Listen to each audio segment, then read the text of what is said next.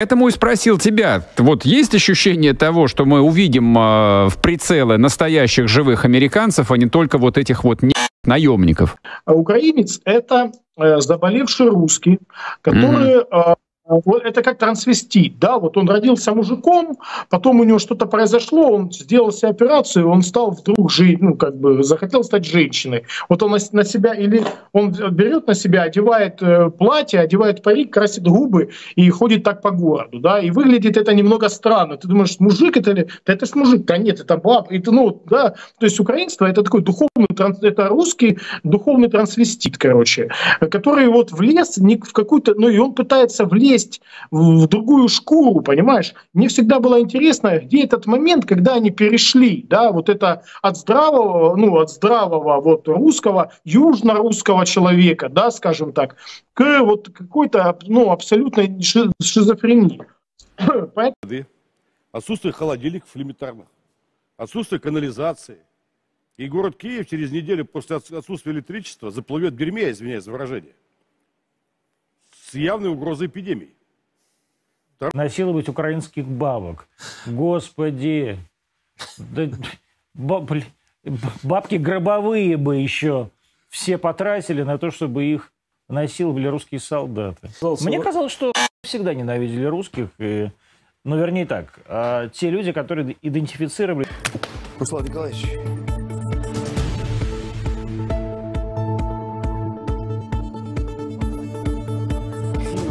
раскачивать не будем, поэтому я очень прошу вас сильно на этих иранских, потому что это классика истории. Жопа есть, а слова нет, да? Мы все знаем, что они иранские, но власти не признали. Руслан Николаевич. Да, приветствую вас, Руслан Николаевич. Давайте начнем с того, как, в принципе, изменится мировой рынок производства и вообще вот продажи вооружений с начала военной операции на Украине. Сейчас Польша называет себя главной жертвой Второй мировой. Но не она ли была ее хищным инициатором? Но просчитала.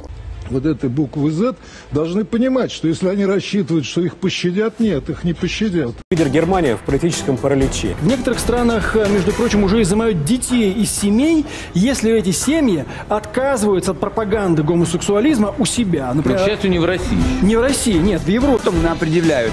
Главнокомандующий, направляйте Балтийский флот к берегам, так сказать, Британии. Если еще что-то скажут, Хрущев сказал однажды британцам, мне достаточно две ракеты, и ваших островов не будет. Заткнулись вперед на 20. Англичанка гадит. Столь устойчивы в русском языке, что кажутся неистребимы. В XIX веке в России даже стало расхожим выражение «англичанка гадит», и обозначало оно разные явные или нет, но всегда идущие во вред России действия англосаксов.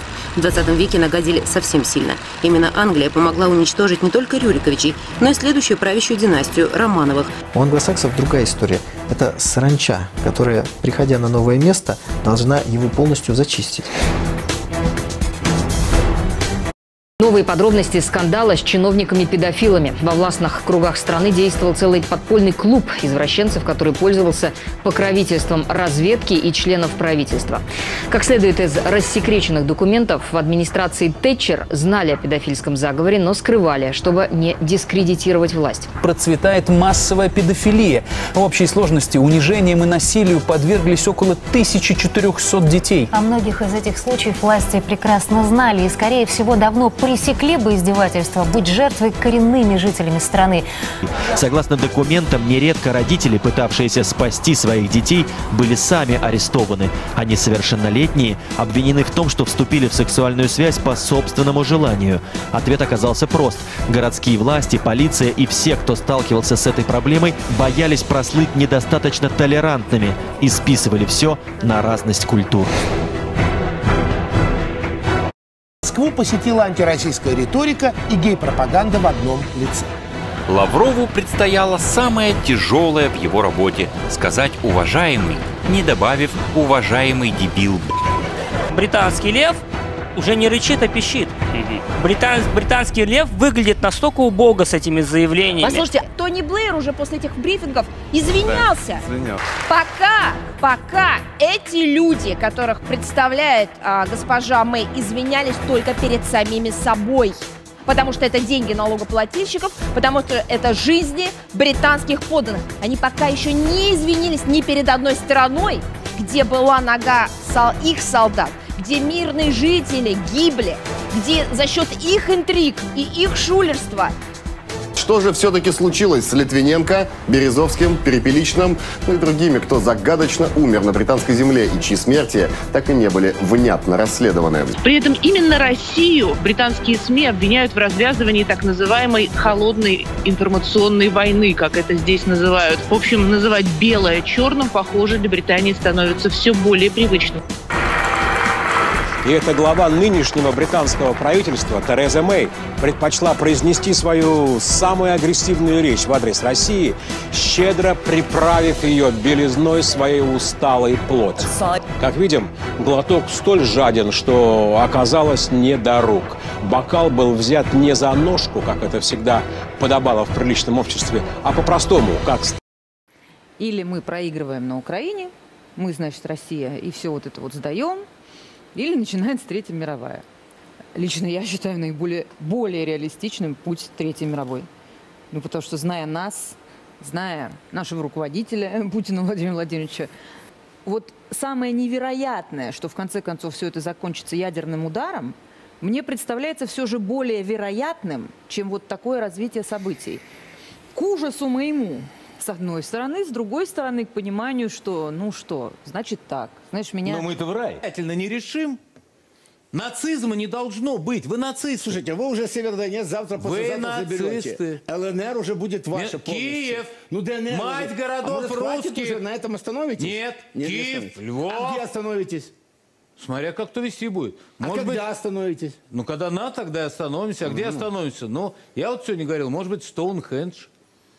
Ну, или... Появились свидетельства, что в Германии мигранты начали насиловать несовершеннолетних детей, а граждане страны говорят о безнаказанности и вседозволенности для преступников. 29 малышей за неполные три года. Норвегия и Финляндия продолжают воровать наших детей. Подобные случаи происходят в благополучных скандинавских странах с пугающей регулярностью. Только за минувший месяц об изъятии детей заявили три российские семьи. По финским законам детей могут забрать без предупреждения разбирательств. Сначала в детский дом, позже к приемным родителям. Суд и следствие для этого не нужны.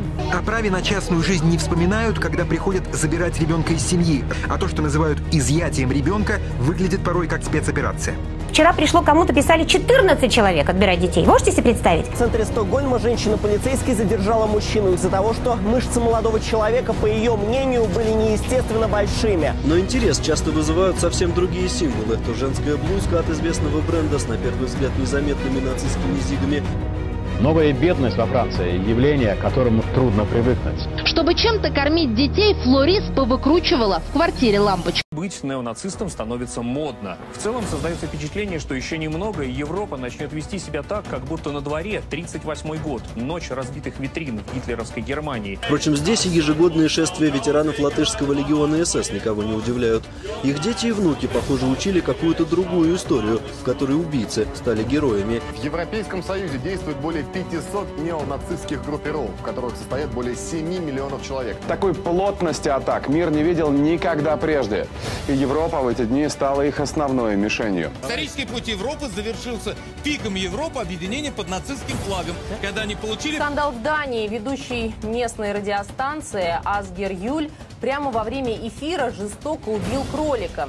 В причинах могущества педофильского лобби разбирался наш корреспондент Иван Благой. В Европе потихоньку, почти незаметно, но все же началось обсуждение разработки закона о легализации инцеста. А в Норвегии и в Исландии инцест фактически уже легализован. Теперь же некоторые политики Европы, в первую очередь Скандинавии, открыто называют инцест гендерной нормой. Причем по аналогу гомофобии предлагают ввести такое понятие, как инцестофобия, за которую будут наказывать. Главные борцы за идею – неолибералы и активисты гей-движения. Многие депутаты местных парламентов, продвигающие свою идею всеми возможными способами. Почему зоофилы со всей Европы хлынули в Данию? На коленях стоять не буду. Вот эти к нам еще приползут на коленях и будут просить наших новых технологий, наших космических программ, и, будь, и мы еще будем кормить Европу и Америку. Это похороны Евросоюза, это реквием по Евросоюзу. Давайте по и, делу, это уж точно это реквием по традиционным ценностям в Европе. Это конец Европы! Она сгнила! Мы зря освободили Австрию! Как же нас достали эти НАТО и ЕС! Пусть себе советских лагерях ты назывался, кто ты и какая у тебя статья. Ты был индивидуален.